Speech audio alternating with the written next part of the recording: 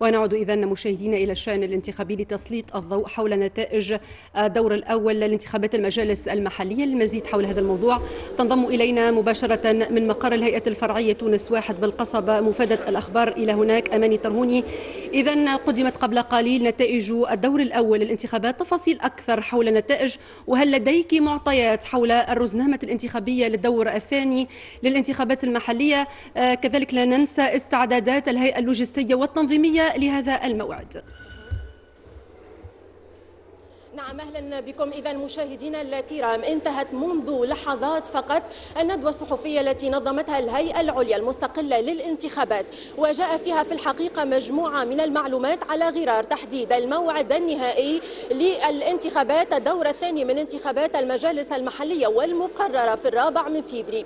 كذلك آه، تحدد موعد الحملة الانتخابية التي تبدأ يوم الغد الحادي والعشرين من جانفي. كذلك موعد الصمت الانتخابي الثالث من فيفري. آه، تم أيضا تقديم معلومات أخرى على غرار عدد الدوائر الانتخابية وعددها 779 دائرة وكذلك 1558 مترشح. لمزيد من التفاصيل حول آخر الاستعدادات لهذا الموعد الانتخابي ينضم لي ضيفي السيد فاروق بوعسكر رئيس الهيئة العليا المستقلة للانتخابات. إذا سيد بوعسكر أهلا بك. نتحدث عن آخر الاستعدادات خاصة وأنكم تحدثتم خلال هذه الندوة. عن إعداد منظومة لمتابعة الحملة الانتخابية.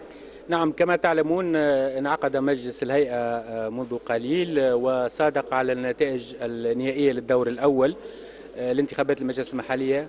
أيضا صادق على رزنامة الدور الثاني والتي تنطلق بداية من يوم غد على حد 21 جانفي تنطلق الحملة الانتخابية للدور الثاني وتتواصل إلى غاية يوم 4 فيفري 2024 وهو يوم التصويت للدور الثاني.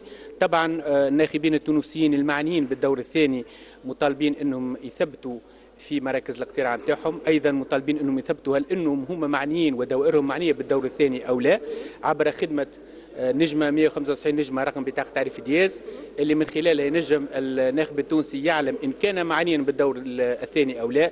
ثم وضعنا أيضا منصة آه، على ذمة الناخبين التونسيين للتعرف على المترشحين وعلى برامجهم الانتخابية. المنصة هذه اسمها كانديدا 2023.easy.tn ينجم أي مواطن تونسي يدخل إلى هذه المنصة يختار الولاية والمعتمدية والعمادة ثم يطلع على السير الذاتية للمترشحين وعلى برامجهم الانتخابية.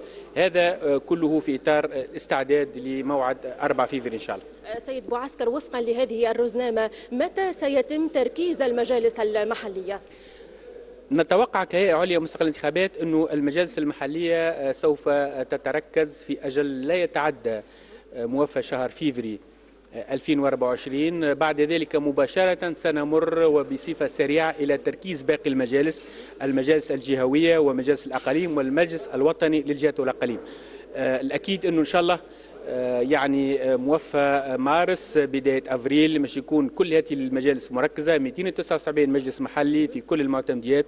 24 مجلس جهة في كل الولايات. خمسة مجالس أقاليم. وتتويج كل ذلك المجلس الوطني للجهات والأقاليم غرفة تشريعية ثانية. سوف إن شاء الله تباشر مهامها.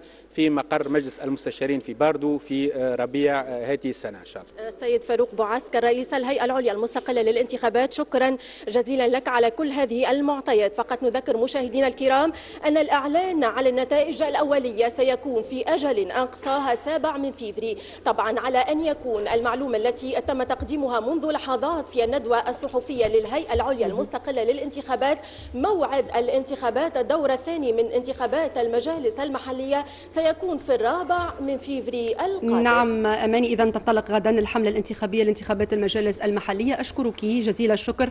مفادة الأخبار أماني الترهوني على كل هذه المعطيات. أشكر ضيفك أيضا أماني.